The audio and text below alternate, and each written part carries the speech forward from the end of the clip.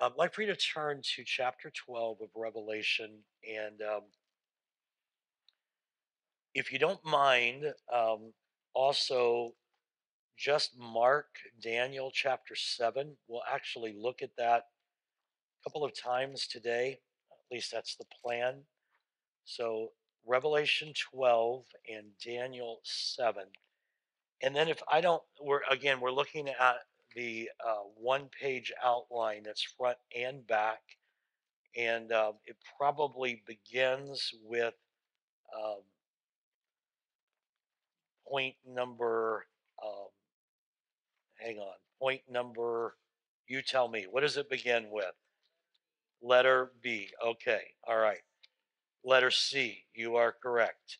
Um, we are going to, so we're, we're going to look at, we're actually going to look at um, verse 5 to begin with. But can I give you, uh, if you want to take notes, or if you're a note taker, can I give you three things that are on your notes nowhere? All right. I, uh, I worked on this this morning to try to come up with a way to jumpstart the lesson today so we could all be sort of on the same page uh, the best we could. So there's really three things, and they each have some little sub things. But you may want to jot these down. This will help. I think this will help us get going today. Number one, the time period is the end of the world. The time period that we are talking about today and next week is the end of the world as we know it now here on earth. Um, a couple little sub things under that. This would be just prior to the return of Christ to set up his kingdom. Now, I, I want to, you, you, you don't have to jot this down, but I do want to make a point. When I talk about the return of Christ, um, we, we've already talked about some of the different views about the rapture of the church. That is, that is the catching away of the people of God to heaven. And we've talked about, and I'll mention it again today a couple of times. There are differences of opinion as to when that happens. But when I refer to the return of Christ, I'm not talking about that. I'm talking about his return to earth where he sets up his kingdom, all right? So and and so this is the time period just prior to the return of Christ when he sets up his kingdom. And you may want to jot this down. This is still under point number 1. This is the time period after he sets up his kingdom that Satan will be bound for 1000 years. That's what we call the millennium. We'll get to that when we get to chapter 20. Jesus will reign on earth for that thousand years. And there will be what we call, or what Bible calls also in Revelation 20, the great white throne judgment. That is where unbelievers will be raised out of hell. The living will be judged, but those who are who died that were unbelievers will actually be raised out of hell, stand before God, and then cast back into the lake of fire. All right. So that that all happens after he sets up his kingdom. So point number one, this is the real takeaway. Where we are talking today is right at the end of time, right before Christ returns um, to the earth. All right. Another little thing that I want to um, say about that, still under point number one, it's it's actually a point all of its own, I guess but there's a hint that I've not brought out as well as I should have, a hint that shows up in Revelation often, and we'll see it today. John says, Then I saw, just that little phrase, then I saw. We tend to interpret that as, then this happened, and we put it in a timeline, and that's where we get confused. This is not, he didn't say, then this happened he said, Then I saw. In other words, John, the, the, the order of things that he saw does not necessarily represent the order that things will happen. Again, let me put you in that in the rotunda of the Capitol building. If I start looking that way, I see that first, and I turn here and I see that, and then I see that. but it doesn't mean that's the order that things happen. This is the order that he saw things, okay? So that's why we some of the interpretation of Revelation has been a little weird is because we've tried to every time we see John say, Then I saw, we think that means the next thing can happen. It's not always the case. Does that make sense a little bit? So that is kind of a helpful, I think, a helpful clue to interpreting Revelation. So that's point number one. That was a lot for point number one. Um, uh, point number two builds on the time period thing. So I, I want to be more specific about this time period now. We will hear phrases like 42 months, 1260 days, three and a half years. And we've also heard this phrase time and times and half a time. So time times would be one times two times one, that would be two times, and then half a time. So you add that together, it's three and a half. It's another way of saying three and a half years. So you will, in this period, we're talking about period of time that scripture identifies as 42 months, three and a half years, 1260 days, time times half a time, all of that. That's the same period of time. That's the period of time we are talking about today and next week. All right. Is that again? I just want you to know. So don't we? I just want us all to jump in and know that we're looking at these this last period right before Jesus comes back. All right. Whether that's a literal three and a half years or whether it's just this concentrated time period, that's really irrelevant. We're looking at the last time before the return of Christ. And I'm only going to bring this up the question that we have talked about several times. So, who are the saints? Because the saints are all over this text, all over it. Everywhere we turn, they're saints. So, the question is is that the church that didn't get raptured before the end of time? Possibly. It may be. There may, the rapture may not happen until the end of the tribulation. There's no absolute certainty. Or it may be people that got saved after the rapture. Um, I, I, have my own kind of leaning, and uh, but but again, we're not nobody nobody that's really smart is going to be dogmatic on this because we don't know for sure. But but the point is, there will be Christians, many of them, at the end of time. All right, before Christ returns. Whether these are the Jews that get saved, whether it's all of us and we didn't get carried away that that's we don't know, but there will be a lot of believers in this last period of time. Er, that makes sense to everybody. All right, that's that's as far as um, really any Bible student ought to be comfortable saying because we're not given absolute clarity on that. Now, chapter the third point, I want to talk a little bit about chapter 12 because we're going to finish chapter 12 today.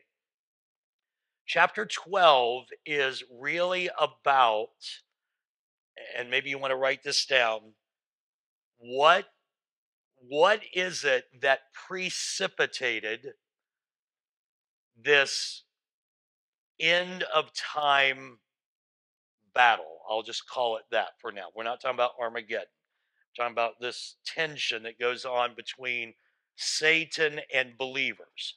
So, chapter 12 is about what precipitated, what caused this intensity that's going to happen at the end of time. That's what chapter 12 is about.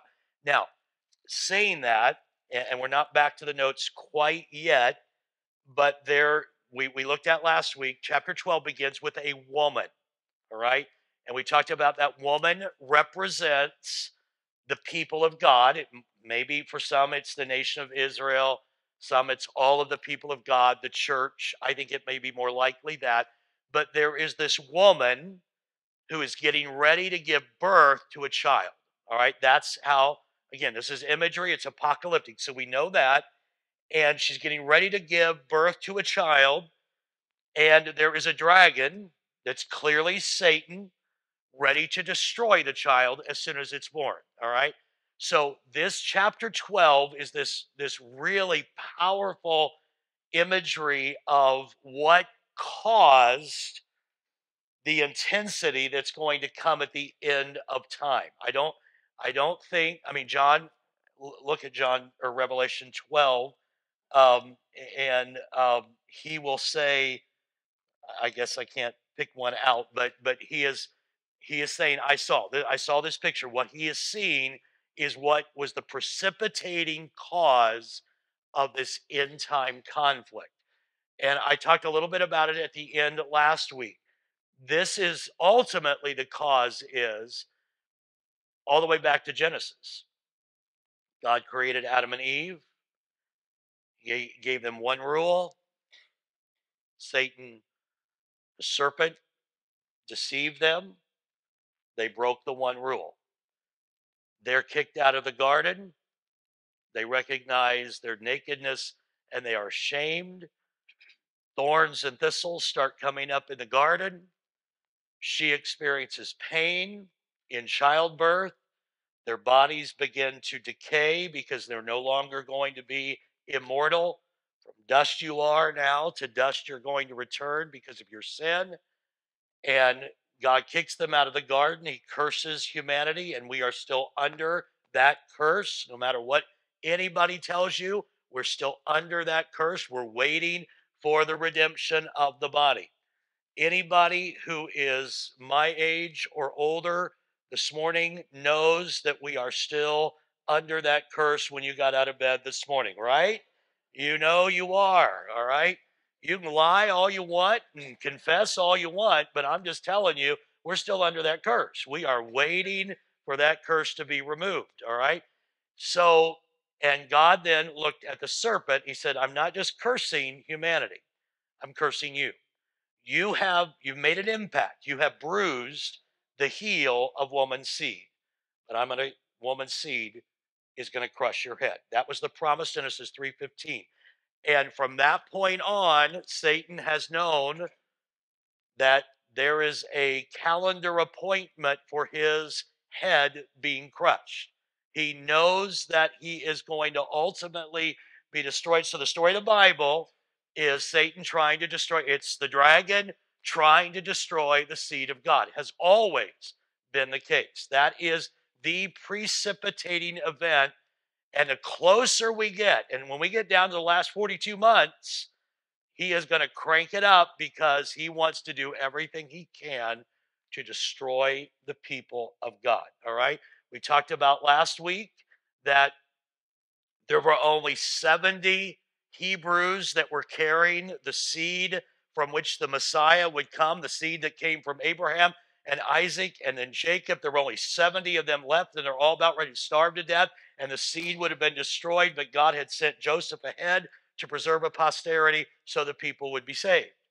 We talked about how for 430 years, all of that seed, they were slaves in Egypt, and it looked like they were going to be destroyed as Pharaoh and his army came after them, but God drowned Pharaoh and his army in the waters of the Red Sea. We talked about how that when Jesus was born, Herod was so angry that that the king of the Jews was going to usurp his power that he made an edict that every Hebrew child that was two years and under be male child be destroyed. And God gave a dream to Joseph and said, Get to Egypt. But he was trying to destroy that seed. Does that make sense to everybody? So that's the picture of Revelation 12. That is the precipitating event to what makes the end times so, so intense. Now, go back to your Bibles and uh, let's look at Revelation 12.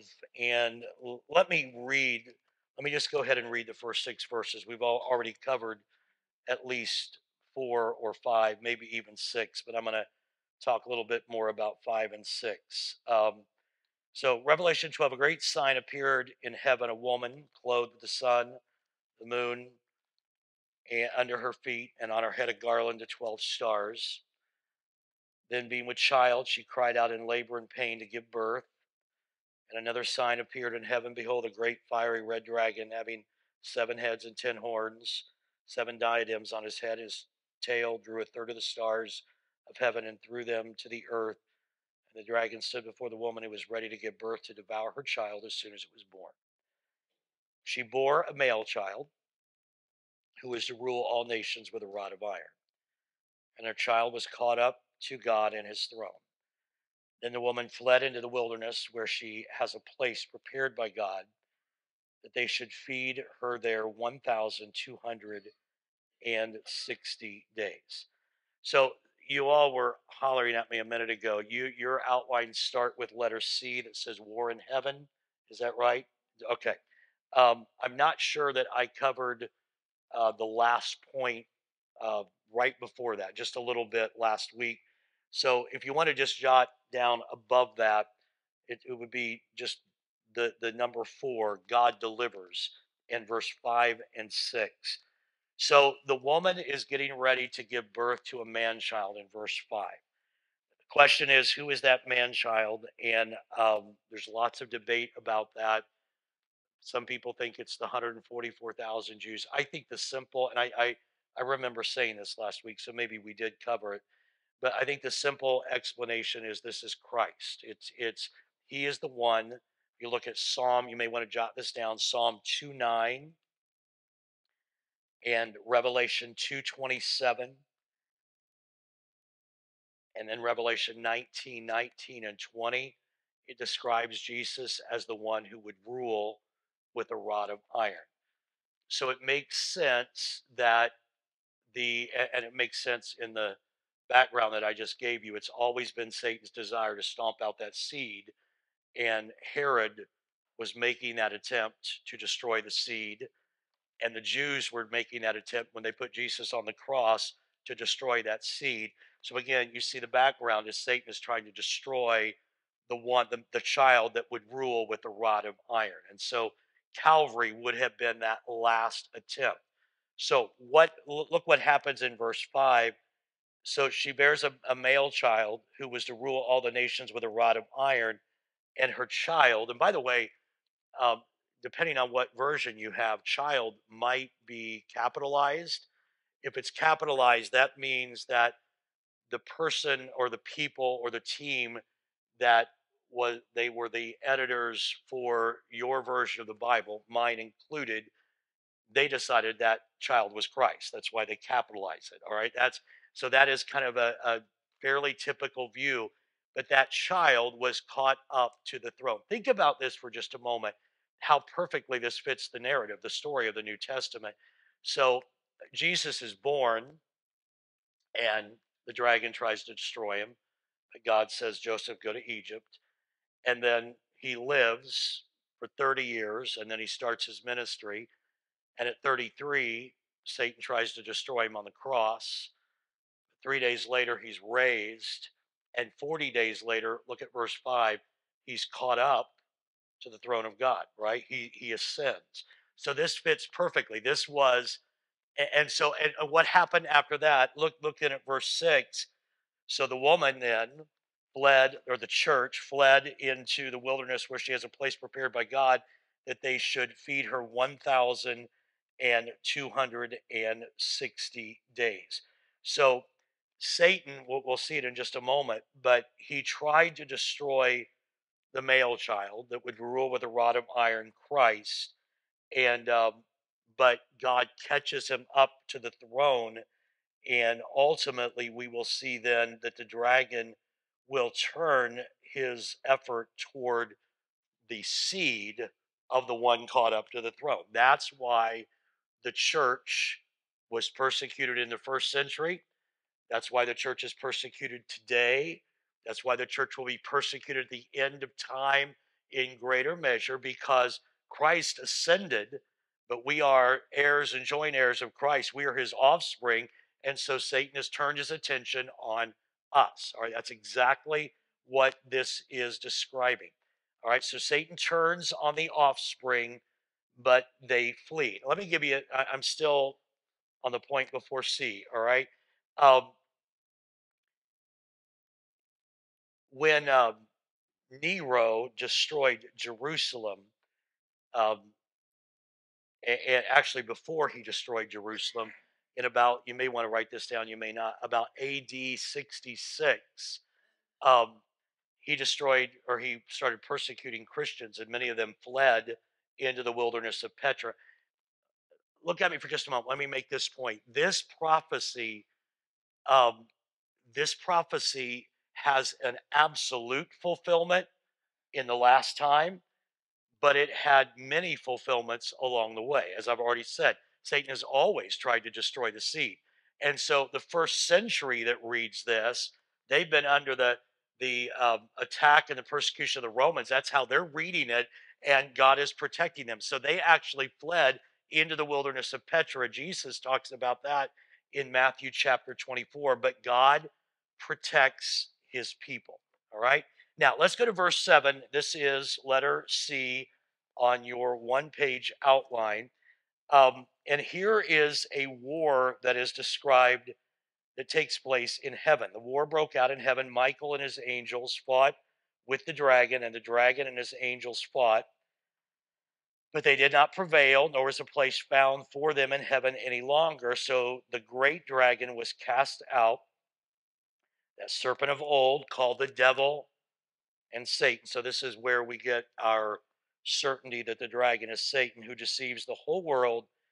He was cast to the earth, and his angels were cast out with him. Now, remember what I said in one of the points that I gave you. Chapter 12 is an explanation of what precipitated this end time intensity. This is describing a war in heaven. A few things I want you to notice. Number one, this is what happened in heaven. Number two, notice there is no, this is important, there's no dualism here. The battle is between Michael the archangel and Satan.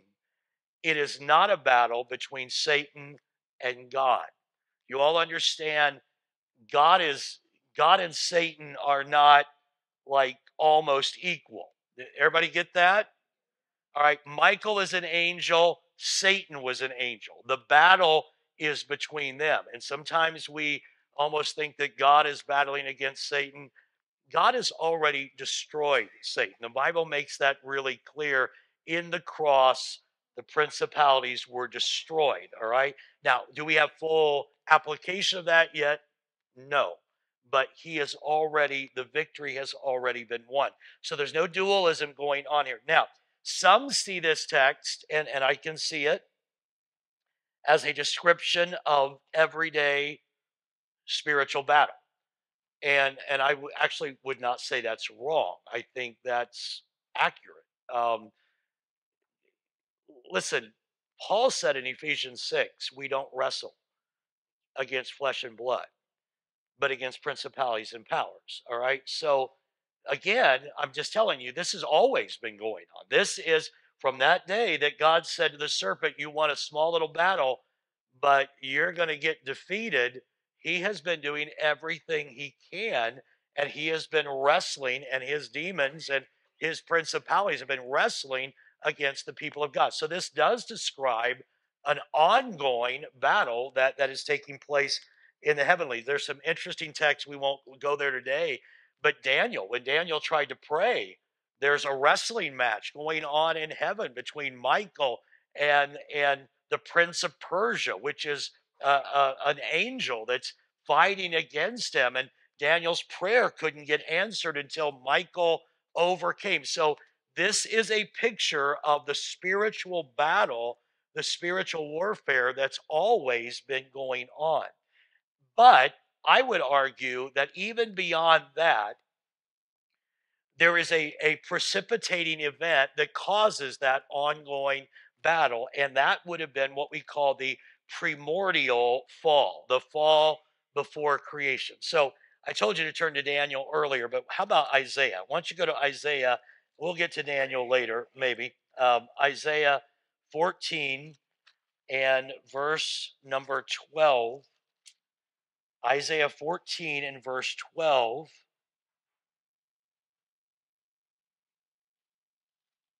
Isaiah 14, 12. How are you fallen from heaven, O Lucifer, son of the morning? How are you cut down to the ground, you who weakened the nations? For you have said in your heart, I will ascend into heaven, I will exalt my throne above the stars of God. I will also sit on the mounts of the congregation on the farthest sides of the north. I will ascend above the heights of the clouds. I will be like the Most High. All right, I won't read any more of that to you right now, but that and also um, Ezekiel 28 also describes what looks to be the fall of Satan. And what was the fall of Satan all about? Satan said, I'm going to be like God. I want to be worshiped. I'm going to ascend to the mountaintops. I want to be like God. And he fell. All right. That's Isaiah 14. You'll also see that in Ezekiel chapter 28. And when he fell, we know from several scriptures, again, we're not going to, our point is to stay in Revelation as much as possible. But when he fell, he took a third of the angels with him, which again is what is described. Look at Revelation 12 and uh, verse number uh, 9. The dragons cast out uh, the old devil of old, the serpent of old called the devil and Satan, who deceives the world and he's cast to the earth, and the angels are cast out with him. So there was this primordial fall. Let me really, how many, how many are okay if I really muddy the waters for like 60 seconds? Can I do that? All right. So if you if you are really uh, an astute reader, when I was reading Isaiah 14, it said that when Satan fell, he weakened the nations. Well, if this is a primordial fall, what nations did he weaken? I mean, nations seem like they would need people. All right. I don't know. I'm just I'm just throwing this out. All I'm doing, I'm just trying to mess with your head. Okay, that's all I'm trying to do. Um, there is there is a great argument to be made. Um, it's called the gap theory. Um, Genesis 1 1 says, In the beginning, God created. This is why I never finish anything because I always go down these rabbit trails. Genesis 1 1. In the beginning, God created the heaven and the earth. And the next verse says, And the earth was without form and void. And the, the, in the Hebrew, it literally means the earth was chaotic. There are some people that think, Did God create a chaotic, chaotic earth? So some people think there's something that caused the earth to be chaotic. And um, and then what we get from beginning in verse 3 of Genesis 1 is God's recreation of the world. And uh, you think about this. What did God tell Adam and Eve? Be fruitful and multiply and replenish the earth. Um, I don't know how you replenish something that wasn't plenished to begin with, right? So there is an argument to be made. Again, there's an argument to be made against it too, but I'm just trying to mess with your heads. I'm not trying to answer anything there is an argument to be made that that there was some kind of creation and um, and then satan fell and when he fell he weakened the nations destroyed uh, ezekiel says um, and, and the uh, cities were made like the wilderness that he fell created chaos so god created heaven and the earth Genesis 1 1. And then Satan fell between 1 1 and 1 2. That's the gap. And then 1 2, the earth is without form and void. And then God began to recreate. Now, it doesn't matter because the story we're responsible for is what happened once God recreated and made Adam and Eve. So all, all I'm doing is, um, well, you know what I'm doing. I've already told you what I'm doing. All right. So if you if you picked up that weaken the nations, I was just trying to, in case somebody said, well, what nations did he weaken? That's one of the, the verses we have to work around, and and that's a when I say a theory, it's a theological principle that a lot of people hold to. It doesn't really impact us again, but it, it certainly fills in some holes in some of the other things. Even some people even say it fills in holes about fossils and the age of the earth and all of those things so do with that what you want. But there was a war in heaven. All right. We do know that. Let's go back to what we know for sure. There's a war in heaven, and Satan is cast out. He is the deceiver, the dragon, the Satan, um, the devil. Satan is the Greek word, uh, devil is the Hebrew word, but they are both synonyms for an accuser in the court of law. That's what he did. Remember Job?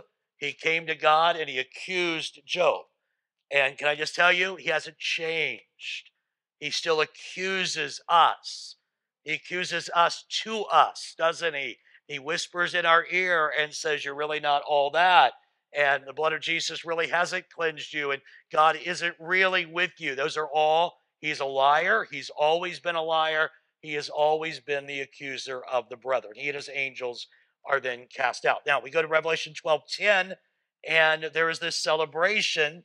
Um, I heard a loud voice saying in heaven, Now salvation and strength and kingdom and the kingdom of our God and the power of his Christ have come, for the accuser of our brethren has who who the accuser who accused them before our God day and night, they ha- has been cast down, and they overcame him by the blood of the Lamb and by the word of their testimony, and they did not love their lives even unto death. Um, in verse 12, therefore rejoice, O heavens, you who dwell in them, woe to the inhabitants of the earth and the sea, for the devil has come down to you having great wrath. Look, because he knows he has a short time. All right. Um, so there's a heavenly shout when the accuser of the brethren is kicked out. I, I find that not at all hard to believe that when Satan is kicked out of heaven in the primordial fall, that the rest of heaven celebrated. That makes perfect sense. They celebrate. He's been an antagonizer trying to ascend to the throne of God.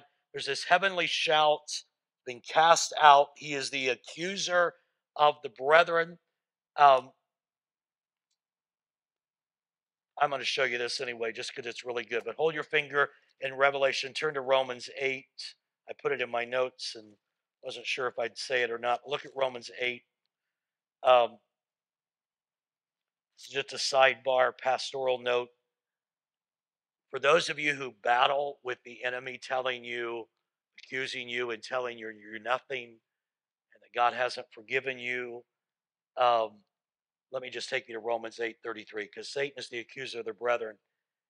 But in Romans 8:33, Paul says, "Who shall bring a charge against God's elect? It is God who justifies." Let me just stop there for just a moment. Satan can accuse all he wants, but his accusations are impotent. They have no power only one who can accuse is the God who justified us. And look at the next verse. Who is he who condemns? It is Christ who died, and furthermore is also risen, who is even at the right hand of God, who also makes intercession for us. This is such a great truth. I, and I preached it before, but I couldn't let it go. So Satan accuses us and tells us we're no we're of no value and we're really a sinner and God hasn't really forgiven us. Paul answers that. Who can condemn? Only God who justifies. Who, who can or who can bring a charge? Only God who just who can condemn?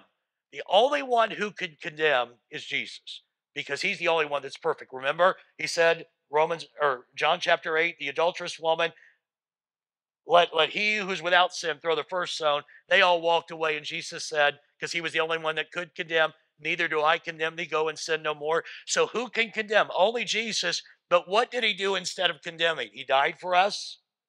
He look Romans 8. He rose for us, and he ascended and is seated at the Father's right hand, and he is praying for us.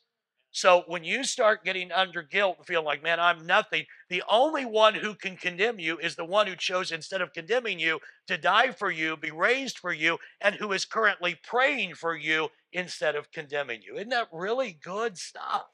All right, so has nothing to do with revelation, but I threw it in there because it's just, it's so powerful. So go back to the notes now. And uh, so there's a celebration. He's cast to the earth he knows his time is short, but those who overcome, overcome by the blood of the Lamb, which is the cross, and the word of the te- their testimony. That's what we're still overcoming by today. We overcome by the blood of Jesus shed at the cross and by the proclamation of the gospel. Uh, faith comes by hearing, and hearing by the word of God. So We overcome the enemy by the blood of Jesus and by the proclamation of the word of God. This is how we defeat Satan. The cross was not a victory for Satan, and neither is martyrdom. If Antipas was in the first century killed and Stephen was martyred and thousands of people every day in 2023 are being martyred for their faith, that is not a defeat by Satan, that is a defeat of Satan because he didn't get them. They overcame by the blood of the Lamb and the word of their testimony, and they, martyrs, are in the presence of God. So they overcome. It is not Satan getting a battle. So heaven rejoices, but earth must mourn because Satan knows his time is short and he is enraged. And so the implication is he knows he's running out of time and he's cranking it up and so there's a sense in which Earth mourns because it gets worse and worse, and we're feeling it getting worse and worse now. Um, this is the the Fred Craddock quote that I have stumbled around um, for since I started teaching this, and I couldn't find it. I finally found it. Here's what he says: John's apocalypse is a call to see through what's going on to what's really going on. That really makes sense here in Revelation 12. All right? Because, and it makes sense in 2023. All right? Revelation, when you feel the pressure and you feel the spiritual warfare, Revelation is an invitation to see past what you're feeling today to what's really going on in the heavenlies. And what's really going on in the heavenlies is Satan lost a battle a long time ago. And he knows his time is short and he is cranking up his intensity against the people of God. Does that does that make sense to you? So that's why Revelation, that's why Revelation was helpful to first century Christians. I keep saying this, and it's helpful to 21st century Christians. It's not about timeline, it's about who's in control and who's really winning this battle. And ultimately, Jesus has already won the battle, and we are winning it with him through his blood and through the proclamation of the gospel. All right? Everybody got that? Okay. Now let's move on. Then there's a war on earth, verse 13. So when the dragon saw that he had been cast to the earth, he persecuted the woman who gave birth to the male child, but the woman was given two wings of a great eagle that might fly into the wilderness to her place when she's nourished for a time and times and half a time. There it is. Um, so now we're talking about that in time from the presence of the serpent. So the serpent spewed water out of his mouth like a flood after the woman, that he might cause her to be carried away by the flood. But the earth helped the woman, and the earth opened its mouth and swallowed up the flood with the dragon and spewed out out the dragon had spewed out of his mouth and the dragon was enraged with the woman and he went to make war with the rest of her offspring who keep the commandments of God and have the testimony of Jesus Christ. If you want a really fancy um, interpretation of that with all kinds of little nuances and pieces that we can't be sure of, I, am probably not your guy for that. Okay, but but here's the bottom line: is the dragon cast to the earth, angry. He's enraged. And so he goes after the offspring of the woman, the heirs and the joint heirs of Jesus Christ. He spews out this, this picture of um, a flood. It, it, by the way, first of all, this has the, the wilderness motif that we've talked about in Exodus. It, here it is again. It's the people of God coming out of bondage into the wilderness. We have that same wilderness motif, and um, he he's spewing out of his mouth. What does the dragon spew out of? What does Satan spew out of his mouth? He is a liar. He's the father of lies. He's doing that, accusing the brethren. He's He's trying to deceive people in last days. And so, again, he's spewing out of his mouth. There's rage and pursuit by the dragon after the woman and her offspring um, who keep the commandments of God and who have the testimony of Jesus Christ. That, I would suggest, is the period of time we are in right now, or will be, It'll get intensified as we get to the 42 months, three and a half years. But this is what's going on right now. Satan is lying, he's deceiving. Um, churches now are preaching lies. They bought into the lies. Bible talks about Thessalonians to be a strong delusion. All these things comes out of the mouth of the dragon, who is a liar, the father of lies. So it is lying, it is deception, all of this. And again, we don't have to we don't have to place this on a timeline because it's not so much a timeline as it is intensification as we get closer to the coming of the Lord. He's always, how many believe Satan's always been a liar? He's always been a liar.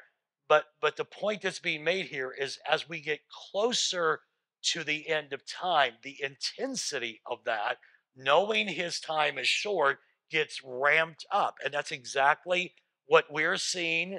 And, and I would guess that if we're still a ways from the coming of the Lord, we haven't seen anything yet. All right. I, I think it's even going to get ramped up more. Revelation 12, again, let me take you to that quote, is a call to see through what's going on to what's really going on.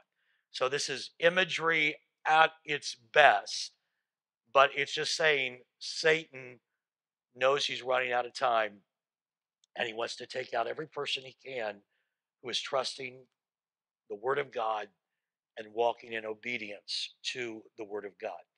Let me uh, in this lesson, not today, but this lesson, um, by just noting the three defeats of Satan. Uh, the man child caught up, that would be the ascension of Christ, his being cast out of heaven, and his lies being swallowed up by truth. And now he is fully enraged. Uh, I made a few closing comments for this lesson and that is that we cannot be neutral when it comes to Satan and spiritual warfare. He is at work for a short time. He was soundly defeated at Calvary and he is angry. He will be overcome. Again, I, I don't I, I, don't mean to confuse, but I, I, I'm not trying to confuse. I'm trying to get help you to rightly divide the word of truth. This wasn't written to us first. This was written to seven churches in Asia Minor and Ephesus had lost their first love, and Laodicea was lukewarm. So it was written to them first. And so he is saying to Ephesus and Laodicea and those other five churches, and every church that has existed since then, including ours, you will not be defeated by the enemy if you will stay true to the word, if you will overcome by the blood of the Lamb and the word of his testimony. It was true for them and it's true for us. Instead of trying to make it something it's not, let's hear it for what it is. There's always been one way, two ways if you divide them into two, to overcome the enemy, and that's the blood of Jesus and the word of the gospel. Does everybody believe that? That was true then, it's true now, and that's what Revelation is saying to us. All right? Now, let's flip over to chapter 13. And uh, we're not going to go all the way through this. We'll just see how far we get. And, uh, and I'll stop at an appropriate time. I will judge the appropriate time, but when half of you walk out, you will judge the appropriate time. Um, but I, I, I thought I, I think we can now get through 13 this week and next week really easily because I feel like I, I and I may be feeling wrong, but I feel like there is a collective understanding that chapter 12 was not so much about a time period um, on a timeline as it was this is what's been going on. This is why things are bad and have always been bad and are getting worse and worse. Now, chapter 13 um, let me just read the notes. I know it wasn't last week, but let me read it. At the end of last week's lesson, which, yes, Jim, sorry. Jim, when you're that tall, you need to raise your hand more than that. I I just thought you were scratching your ear, Jim. I'm sorry. Go ahead.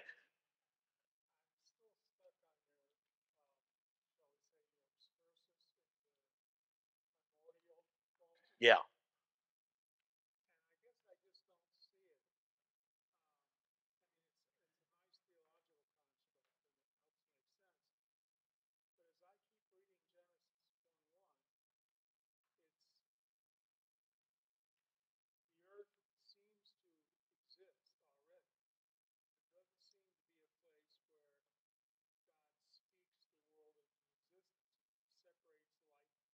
Right. Right. hmm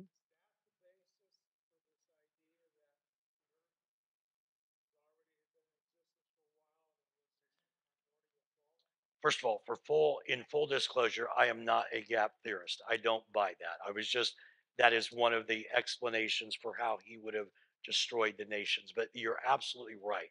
That is the basis. I don't know if you heard the question, but um, I don't want to. I, I think I can say this as you said it. Jim said, as you read Genesis one one, it appears that the earth already existed um, when God started speaking, and He divided um, light from darkness and all of that, but it already existed. And he said, Is that the basis for this theology that says Satan's fall? I, I think I'm asking it right. Created chaos, and then there was a recreation. Is that what you're asking? That is the basis for it. Um, again, it's because of Isaiah 14, which some people argue doesn't refer to Satan at all. Um, Ezekiel 28 is I, I used Isaiah 14 because I'm more certain that Isaiah 14 speaks of Satan than I am Ezekiel 28.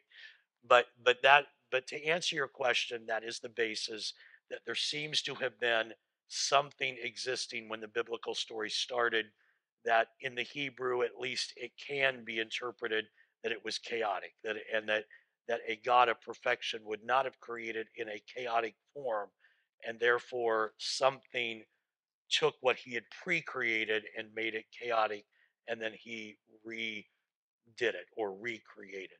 So that is the basis for it. I think to go back one step further why did we need that theology i think people needed that theology because they had a hard time deciphering things like when satan fell he weakened the nations um, what did he weaken if there was nothing here when he fell? So I don't know if that answers your question.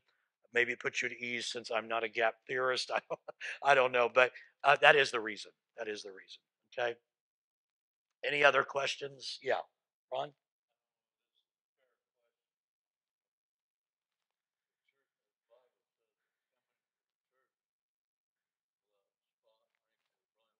Yeah.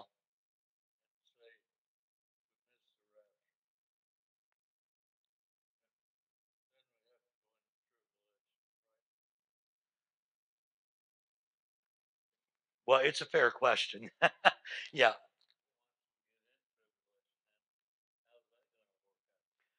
Well, again, as I've said several times, there is lots of uncertainty as to whether it's a literal seven years, because Revelation never mentions it. Um, only can we get seven years from Daniel 9. Um, there's lots of speculation as to whether or not there is a catching away of the bride um, because the word rapture is not in the Bible. Um, and um, a lot of people believe that we will go through the end time, whatever that's like, whether it's seven years or the whole thing, or and then Christ returns and sets up his kingdom. So I, I don't really know how to answer your question. I, I will say this the bride that is without spot and wrinkle, the, the next phrase says, washed in the blood of a lamb. And the only reason we will be without spot and wrinkle has nothing to do with what we've done good. It's whether or not we have trusted the blood of the Lamb. And, and so our righteousness is completely found in Him. And that's what will make us the bride that's spotless for Him. All right. That sort of help. All right. Any other questions? All right. Uh, let's go to chapter 13 then. Um, so, Satan has declared war on the people of God. We are in this period of time now we are talking again. I'm just going to say it one more time. Talking about the end time, whatever that is, whether it's last three and a half years before Jesus comes, uh, whether it's that's metaphorical and it's just a period of time before Jesus comes. And I, I don't, I don't really know. I, I don't know that I need to do this. I'm just going to say one more time. The reason I'm okay with um, saying these time periods can be metaphorical or allegorical or imagery is because all of Revelation is. All right. It's a dragon and a woman. All right. It's not, we all, everybody in this room knows a dragon and a woman, those are images, right? Please nod your head at me that you know that. It's an image. Okay. So that screams at us this is imagery language. And so to determine when we get to pick and choose what is imagery and what is literal, I don't feel qualified. I don't know that any of us can be dogmatic and say that's image and that's literal. So, um, all I know for sure is Jesus is coming, and and we better be ready. And it's going to get worse before he comes, and there could be persecution, and there are going to be people believing a lie, and that's what was written to the first century. The the first century was not getting out the the chart and trying to figure out when this was going to happen. They were just being called to quit compromising and don't lose your first love because there is going to come a time when this thing comes to an end and you better be ready. Does that make sense, everybody? So that's really why um, when I was 25 or 35, I was really freaked out about saying things were imagery. Now that if you fire me, I can retire, I don't worry about it as much. All right. But um, so that, anyway. So at the end of the lesson last week, which was five minutes ago, maybe 10 minutes ago now, Satan had declared war on the people of God, the woman and her offspring. This chapter now, chapter 13, outlines his strategy. This is what it's going to look like. Now, now we are really talking about the final implementation of the satanic strategy. And this, I'm going to argue, has not yet happened. This is still in the future, all right? And um, He's going to outline his strategy to conduct this war against the people of God, and he's going to utilize two other members of the unholy trinity, which will be the beast from the sea and the beast from the earth. Let me just put this up on the board real quickly because I'm going to talk a lot about this today and next week. All of us know what we mean by the Trinity. That was a loss. All right. Number one. Here we go. All right. Father, Son, Holy Spirit. All right. We know what the Trinity or the Godhead is. What we're going to see in the last time is an unfolding of an unholy Trinity Satan, the beast, which is the Antichrist and the false prophet. All right. I'm going to talk a lot about that for 15 minutes today and all of next week. Okay, so we're going to see Satan's strategy. And uh, the first beast seems to be the military and kind of the administrative leader. And the second one will, the false prophet, is kind of the head of a one world religion. We will talk about that more. Um, flip back to chapter 1 real quickly, if you would. Revelation 1 and verse 4 and 5. Revelation 1, 4, and 5. John, to the seven churches which are in Asia, grace be to you and peace from him who is, and who was, and who is to come and from the seven spirits who are before his throne, and from Jesus Christ, the faithful witness. See the Trinity, the one who is, was, and is to come, Father, seven spirits, Holy Spirit, and Jesus Christ, Son. So the Trinity. And now, go back to Revelation 13. Everything we see about this false Trinity will be a parody. Satan will um, implement a parody of the Trinity or the Godhead.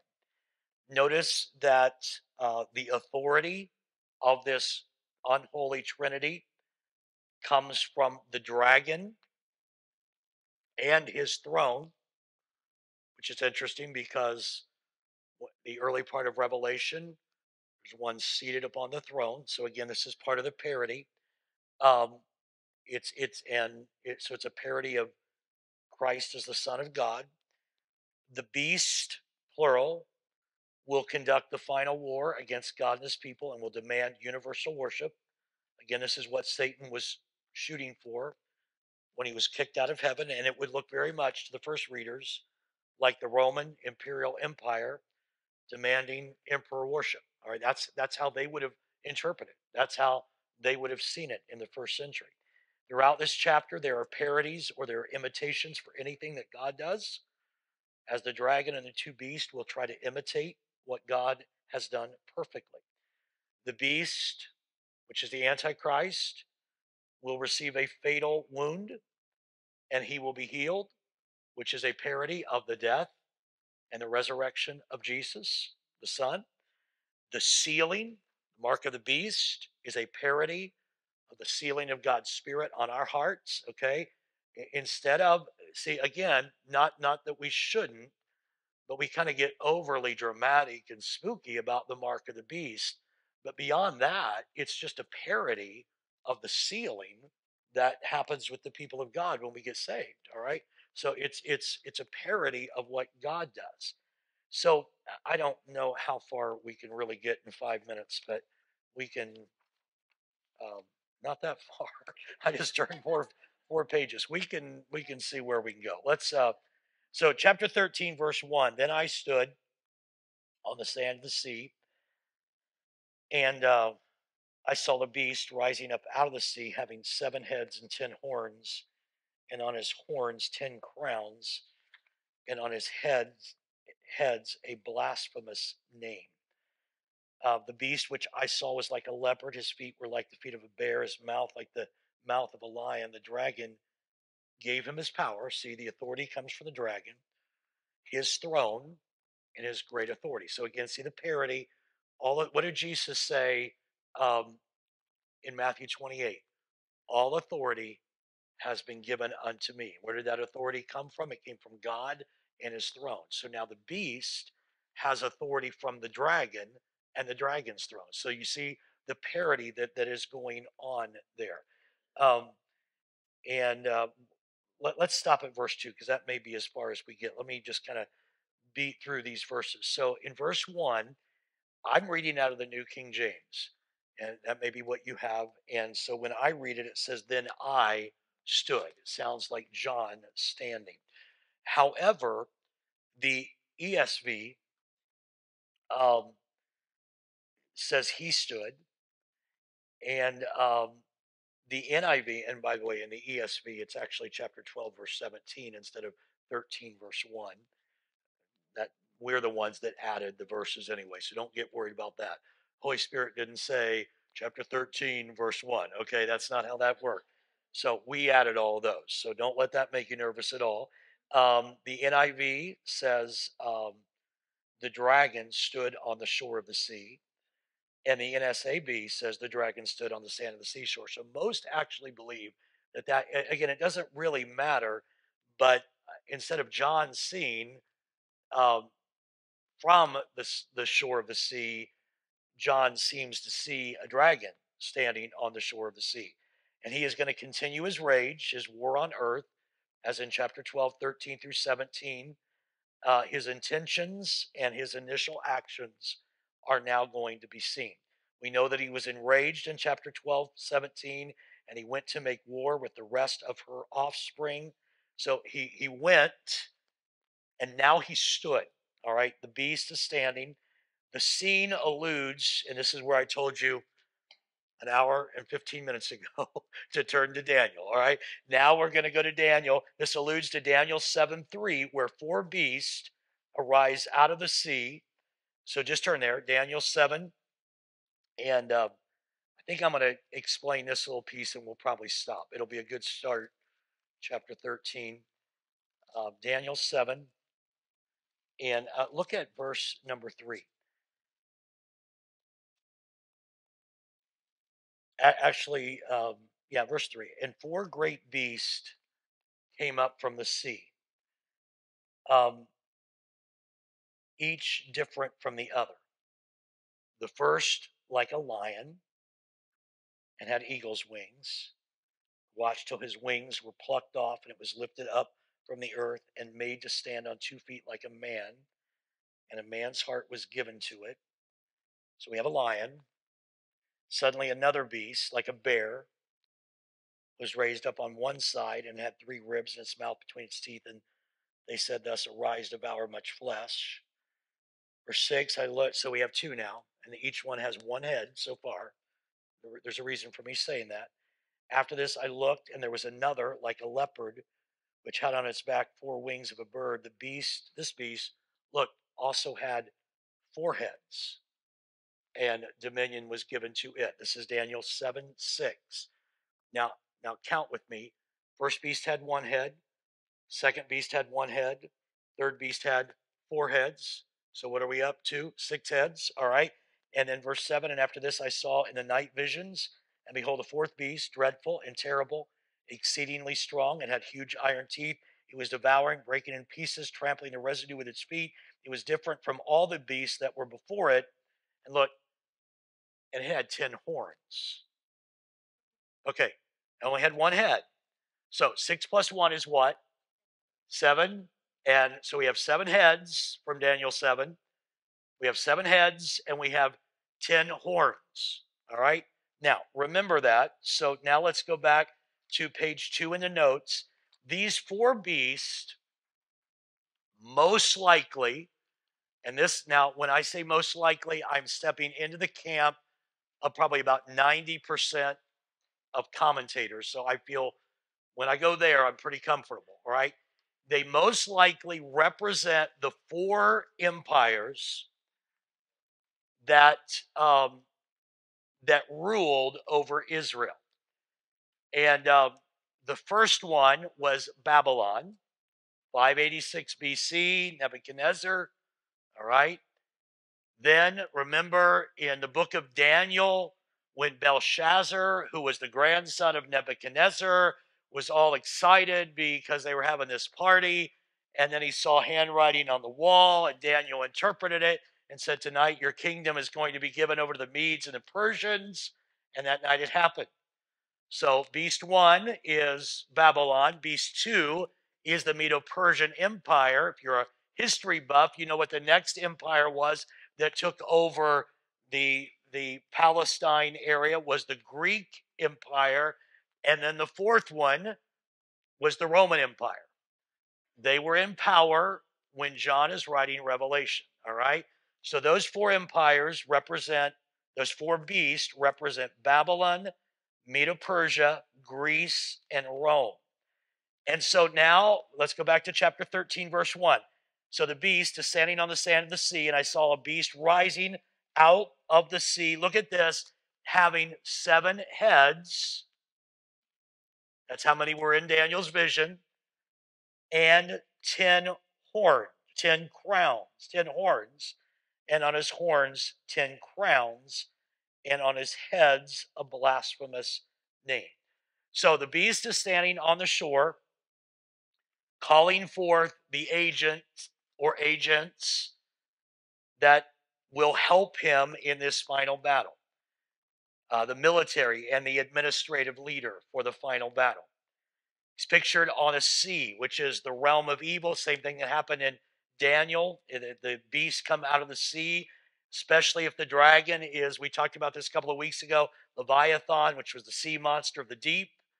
Um, notice it's kind of a dramatic scene because you almost see it's like it's like one of those horror movies. You kind of see the beast kind of slowly rising out. Anybody here remember Sammy Terry? Yeah, okay. I, I'm really going to disappoint you, but um, and mom, I'm sorry to tell them this, but my grandma and grandpa Menard let us spend the night on Friday night and have have Faygo Red Pop Sundays and watch Sammy Terry. Okay, I'm just telling.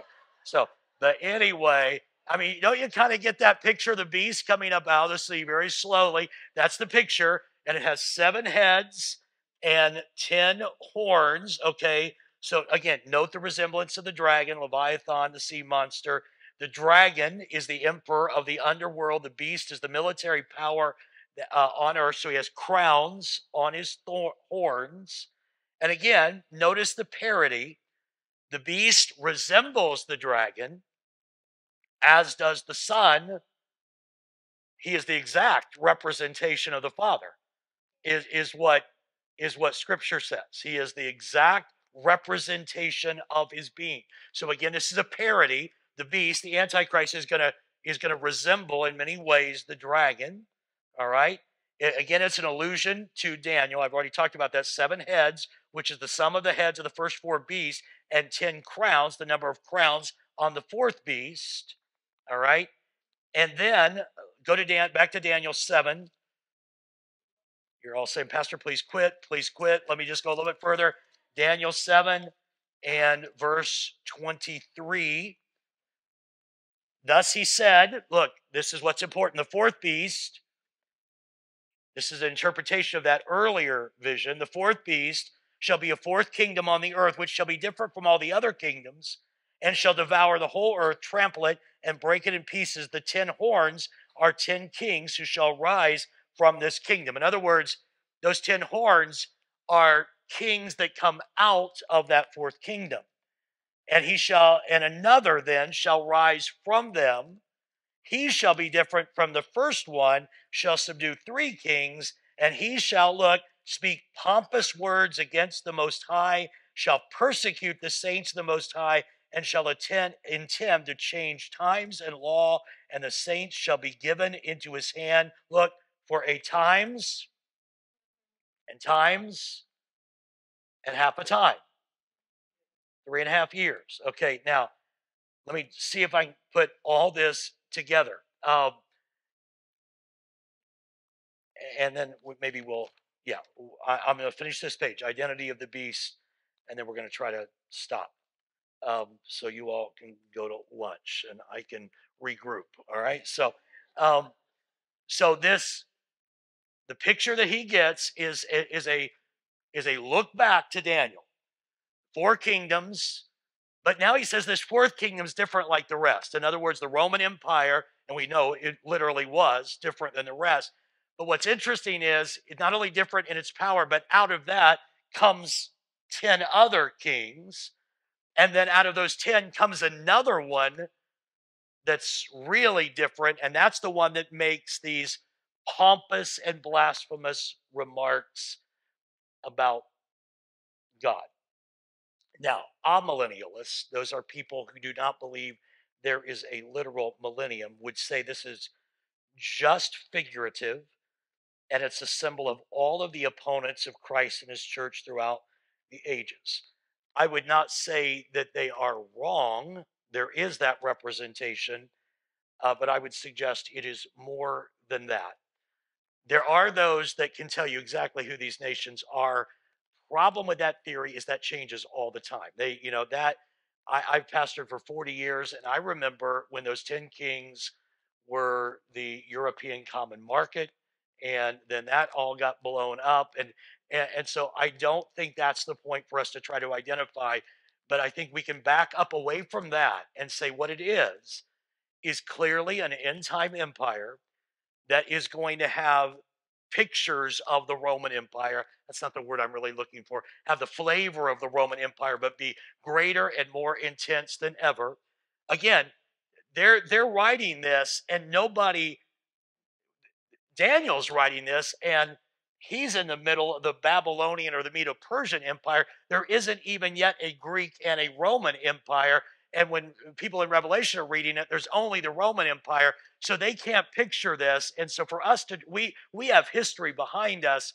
But again, just like they failed, we shouldn't have to try to squeeze future into it because we don't know exactly what the future is. We know there's going to be this end time empire, um, most likely a literal figure um, who will try to control the people of God at the end of the age and will try to usurp God's authority. I, I, I know I'm way over time. Just give me grace today. I'm almost done, but I do want to read the scripture to you. Turn to Second Thessalonians 2. And um, some of you are wishing I was going to Singapore next week. I know. Um, Second Thessalonians 2, and look at verse number 1. Actually, let's just let's jump down. I need to read verse 1. Now, brethren, concerning the coming of our Lord Jesus Christ and our gathering together to him, we ask you, don't be too shaken in mind or troubled, either by spirit or by word or by letter, as if as if from us, as though the day of Christ had come. If you remember my series last year on Thessalonians, um, some of the Thessalonians thought that they were being told Jesus had already come and they'd missed it. All right. He said, No, Paul said, Don't worry about that. Let no one deceive you by any means, for that day will not come unless there's a falling away that comes first. And the man of sin is revealed, who is the son of perdition, who opposes and exalts himself above all that is called God or that is worshiped, so that he sits as God in the temple of God, showing himself that he is God. Um, do not do you not remember that? I, will just stop there because I, I could get into all kinds of other stuff. But the point is that that Paul said at the end of time there is going to be one emerges that, that, that will emerge that will oppose God and will set himself up as God. That's what we are seeing in this beast or the Antichrist. Let me read you this quote. Robert Mounce says there is little doubt that for John, the beast was the Roman Empire as the persecutor of the church. The beast is that spirit of imperial power which claims a religious sanction for its gross injustice. Yet the beast is more than the Roman Empire. John's vision grew out of his own historical situation, but its fulfillment awaits the denouement of human history. The beast has always been and will be in a final intensified manifestation the deification of secular authority. It is a counterfeit power that is self centered, behaves as if it is fully autonomous, and demands total allegiance and excessive praise. The early church expected an antichrist to come in the tradition of that little horn of Daniel and other false messiahs along the way. There's a blasphemous name on each head that will depict the claim to deity and, and desire to supplant God and receive worship. We're going to stop there, but there will be a beast an antichrist, the second person of the false trinity that will emerge in the last days and set himself up as God. Thank you so much for your patience. I apologize. Have a great day.